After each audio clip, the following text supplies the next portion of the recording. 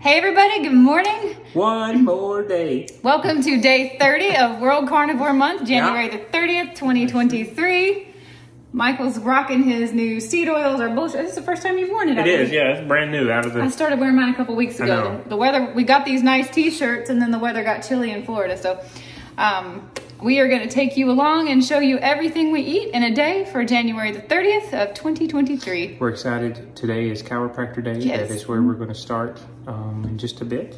The best So, day yeah. of the week is the Best day, day you get week, yeah. realigned and readjusted. For me, It's been I haven't been you. for two weeks now, and I am actually starting to feel a little Yeah. bit like I might be close to my age. So I cannot may- wait for her to put me back together. We're going to try to do a two for this week. When we get to Charlotte, we're going to see our favorite chiropractor also. So we're hoping to see see chiropractor. we have twice. found the world's two best chiropractors in existence. Yeah. They are not in competition with each other. They are completely different, but they are equal and they are Yeah. both the best. And we feel Yeah. so privileged to know them both. So we're going to go see our Florida chiropractor this morning and hopefully get to see our North Carolina chiropractor later this week. Yeah, And that ought to fix me after my three days in a row of working and not getting an adjustment for 14 days. So we're going to take you along for Let's everything. go. Let's go just ran through Starbucks.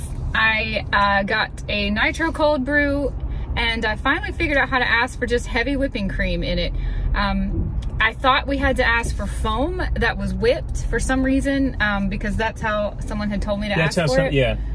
once upon a time. So usually when I get to the Starbucks window and I'm trying to explain foam, the sugar-free foam whipped, I don't think it was very clear what I was trying to ask for. So today I was just like, can you yeah. put uh, heavy whipping cream in it? And I don't care if they whip it or not.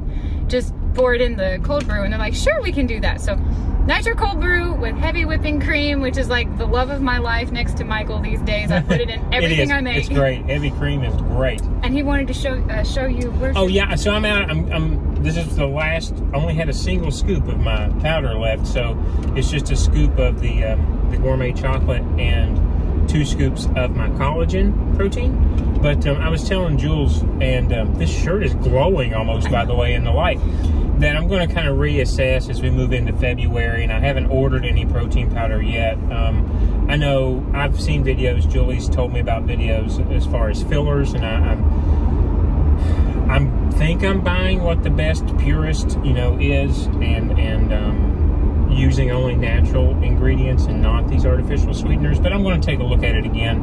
Coming back home and starting my my food window with food is a little difficult for me, but that could be another change that I might make in February. But anyway, I just wanted to say I've got that, that's what I'm having. So I'm not having any type of coffee this morning. but I'm still a coffee addict. I've said this a hundred times. Coffee is not carnivore. Um, some carnivores drink coffee. I would say probably most of the carnivores don't drink coffee.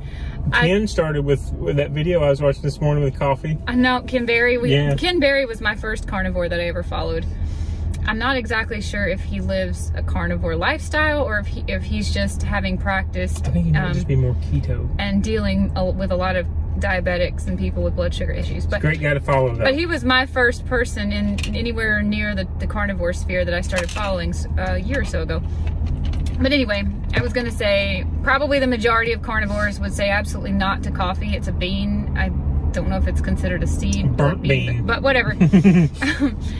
it has never caused me any problems. I have kicked coffee before and gone, I think, three or four years without you drinking did it when I first met you. when he first met me and then I slid back into the habit. You know, I think anyone who smokes would say they've quit a bunch of times. I'm not really looking to quit the coffee habit right now um, because it doesn't seem to be causing me any issues in my life. and you're still living your best life. But so I um, am, am thinking that if I were to start having issues in my life, probably the first thing I would look at would be the coffee would be probably the first thing I would eliminate if there came a time where I felt like I needed to try to eliminate Okay. something from my life. So. I might have a um, a heavier lunch since I only had one scoop of protein powder, and um, yeah, uh, for me, um, Paul Saladino, Carnivore MD, is the first carnivore that I followed. So anyway, that could be another conversation as we're wrapping up the month. But I was just thinking about that. Random thoughts on a Monday going to the chiropractor. But that's um, yeah, that's what I had, and um, I'll show you my lunch. Did you show them your breakfast? Did you have breakfast? I didn't have morning? breakfast this morning Oh, yet. you only Um, made Abra breakfast. I made. We've started. Uh, monitoring the protein intake we're giving our dog because I think we were overfeeding her a little. Uh, not, we weren't overfeeding her Our diet. our diet. We were overfeeding her our diet plus the recommended uh, dry food, and she was eating more of it than I think she really needed. So we Yeah. started paying a little closer attention to what she's eating. So I cooked Abra breakfast. It was an egg and three little pieces of cheese, which equaled about 10 grams of protein. She needs 20 to 25 a day, I think. I bet she Um, loved it. She did. She loved it, but I didn't have time to make breakfast for myself. Oh, okay. So we're going to the chiropractor on an empty stomach and caffeinated. So, Look out. We might. so anyway, I will definitely bring you along for lunch whenever I make my meal. Nice.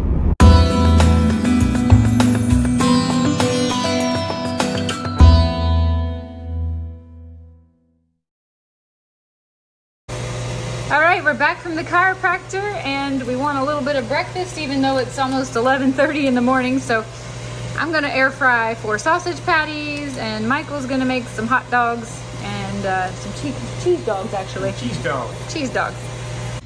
These butterball sausages, this is where it's at. This is how Michael made his cheese wrapped hot dogs in the oven. Is it good lighting? Can you see the gold? Brown on top. Yeah, and and it's just it's the same pizza, uh, or sorry, the same cheese we use for the pizzas. Uh huh. I just wrapped them up, broiled them for like three minutes. And that's to how they they 'em turned out. Can't wait to see how. Having my lunch here, finishing up here, Jules. Can you see I ate them pretty fast? I'm I hungry today. My little cheese dogs and some some raw cheese. So I'm thinking, excuse me, for dinner this evening. I wanted to change it up again. Um, have I had chicken this entire month? Maybe I don't once? think you I'm not have. sure. Much different story last year when we started this. I, I was trying to substitute chicken with everything, but I'm going to try something different today. I've got six boiled eggs, whole eggs, and I typically um, in the past would do a keto egg salad just when I wasn't doing anything uh, with some sour cream and mustard or a little bit of the keto mayo, the, the Primal Kitchen mayo. And so uh, we also have done a chicken salad that um, was animal based, it had some fruit in it. But I thought, could I combine the two and make something palatable for me to eat for dinner? This, uh, just so you know, guys, this is the only chicken that we can find in any of our stores down here that have no artificial ingredients. It is um, the all natural bumblebee. Yep. The all natural bumblebee. So that's what I'm going to use as my chicken. Okay. My wet ingredients are going to be the same mustard, Seed Primal- oil free.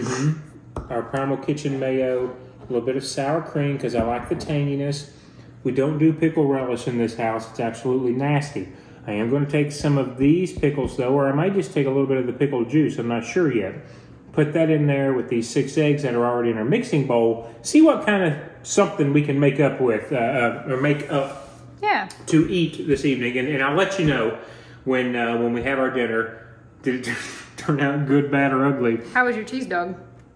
It was good. Not as good as the pizzas because that kind of clicks a pleasure center, you know, because it's crispy pepperoni, and that, that that's the only thing I'm getting for pizza right now. But they, it was good. I'm glad um, I had a little bit more protein for lunch and supplemented the morning shake with a little bit more meat and cheese for, for protein. So yeah, I think that's what I'm going to do for dinner. I'll probably add some sausage or some bacon. Hell, I even thought about making bacon and putting it in the chicken salad. I'm not sure if I'll do that. Chicken egg, chicken egg salad.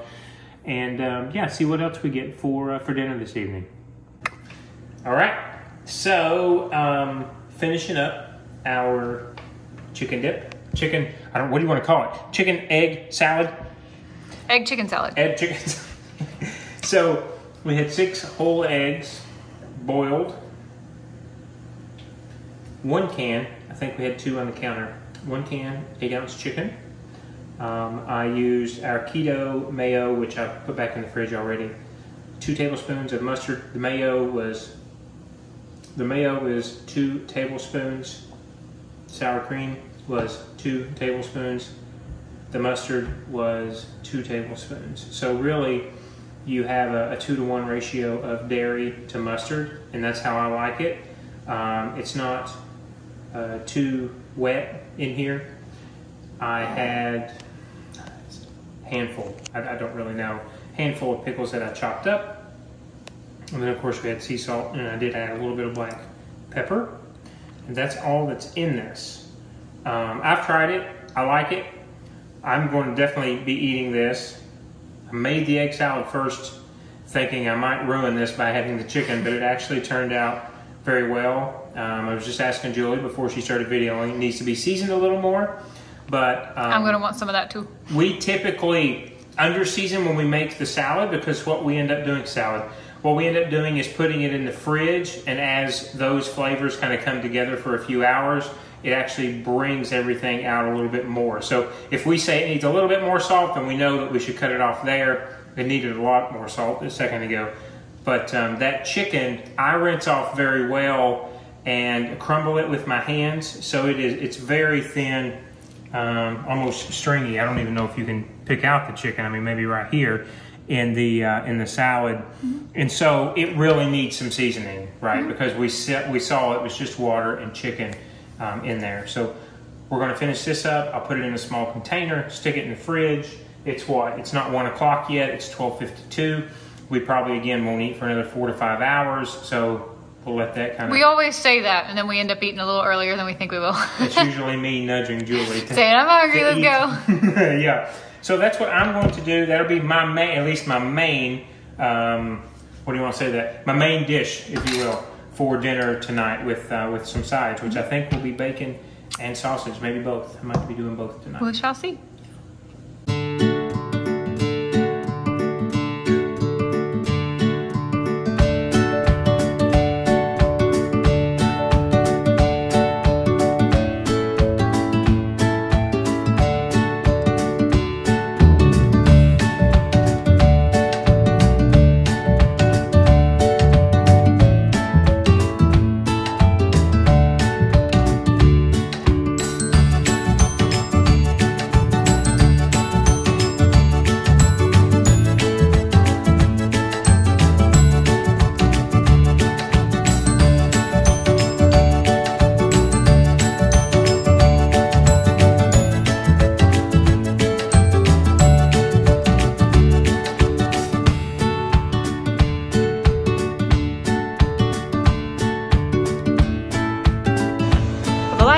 In our kitchen. I think everybody knows that. But uh, as unappealing as this looks, this is going to be my dinner. We just started fixing food. It's 3:45, so we are eating a little earlier than I think we thought we would. This is the beef broth with some, just a little bit of leftover um, hamburger meat in it that I've been eating on for the last few days. And then today, overnight, I actually made bone broth. So this is some of the shredded bone off of the vertebrae that I've, or uh, ribs, ribs, Ribs, yeah. ribs that I made bone broth with. Short so ribs. beef broth and hamburger, bone broth, and short rib meat. So that's what I'm eating. I just went ahead and put them in bowls, and then I will um, heat this up whenever Michael's done cooking. And that's the chicken. Yeah, so it's been salad, in the egg salad fridge for what? A little over almost three hours. Yeah. So it's set up nicely, and the only thing that I'm really going to have, I mean, I'm going to have cheese, but I'm going to make these things I'm You gonna make all those? Was that with. 12 of them? Uh, ten, uh, ten. 10. 10 of these. And then warm up the rest of the queso we have because with us leaving um, Wednesday morning for Charlotte, Yep. we're trying to, again, kind of not Eat, declutter eat the anything fridge, that but uh, eat, eat, stuff we- anything that's been opened been and not opened. completed yet. Exactly. Yeah. And over here we got Aber's little bowl of food where we're just throwing scrappies of stuff that we don't want that she can have. She's gotten some of the meat out of my bone broth so far. Here we have it. Not as big of a spread as it was yesterday with so much randomness. But um, today, again, we've got 10 sausage links. Nope, I count 12. Seriously? yep. Oh my goodness, I thought they were packs of 10. I apologize, everyone. Um, our egg, chicken salad, raw cheese. I brought some pickles. The Gordo's hiding yeah. over here. The queso, another 32 ounces of water. Jules has her rendered beef broth. Bone broth, short rib, broth. beef broth, The hamburger meat. Yeah, and salt because I'm not entirely sure that I salted both of these to my taste. So Oh, okay. that's it. That's dinner for us And today. 32 ounces of water for her. Mm-hmm. Three, two, one, go. Definite, definite um, food being put on rotation. setting in the fridge, and let it all come together. It's it's great. It's great. You've not tried it yet, I haven't tried it yet. but it is I'm really over here salting all my soups. really good. yeah, I just had we had to stop. I had to take a break so that I could get this um, first thoughts on uh, on camera. Really good. 6.30, kombucha time. It is another day in the books. Dinner was great. Dinner was really good. Really, really good. I- Julie just had beef soup. I think it's all. two different kinds of beef beef beef broth and bone broth. It was delicious. It was really really good. Um, so there isn't really much to say about kombucha. Thirty days in a row of us saying here it is. It's six thirty at night. we drink this. This this is is, my kombucha. homemade that I uh, I think I used apple juice. Pretty sure I flavored it with a sh- apple juice. I had think no, you're right. no sugar added. So. That's what it tastes like. Yeah. So we're gonna wrap this video up. Tomorrow is January 31st. That is Michael's birthday. Somebody's waking up a year older. This whole month we had planned to eat birthday cake and go out for pizza on his birthday, but plans have changed. Nope. We are actually going to have one more day of, ooh, sorry about my hand there. We're gonna have one more day of strict eating um, before we go off to North Carolina on February 1st. So unsure if we're gonna vlog what we eat while we're traveling, but um, we're gonna have a 31st I, uh, day of World Carnivore Month. I told Jules I would like to try to get some photos if we do end up, up cheating with our friends, but we don't want to impose on our friends either. So, but we found out today we think we're going back a second time Mm-hmm. in February to um, Charlotte. So again, that was kind of another driver for me to just say I'm not going to worry about tomorrow. We may go out and have dinner, but it's going to be a clean dinner just like it was last weekend, and we'll worry about Charlotte when we get to mm-hmm. Charlotte. That's that's really that's all that's important to me. So. Well, happy World Carnivore Day. This Hope was day 30 in a row of pretty, pretty It's crazy. The month has flown by, know, it but it has. also felt long and tedious at some point. It's it's been a little tedious having to film every single thing we eat. Um, it's easy to, to to feel like you're about to forget, and then yeah, uh, that's true. Or this- just want to eat, right? You're just so hungry and you're like, no, we've not filmed it yet. But Yeah. we hope it's helped you. we've enjoyed sharing everything we eat because this is Um, kind of typical for us. Maybe not quite this strict, but this is how we do eat on a regular basis, and we've had a really good time sharing it with the community. And we found some new things. If anyone is looking for some carnivore friends or some carnivore inspo, you're always welcome on our channel. We would love to get to know you better For sure. and see what you eat and see how you live your life as a carnivore. So, Hope you had a good Monday. hope you are Hope having a great World Carnivore like Month. We have. We've got one more to go. Mm-hmm. We'll see you again in the morning. And that'll be World Carnival Month in the books. Have a good night, guys. Bye, guys.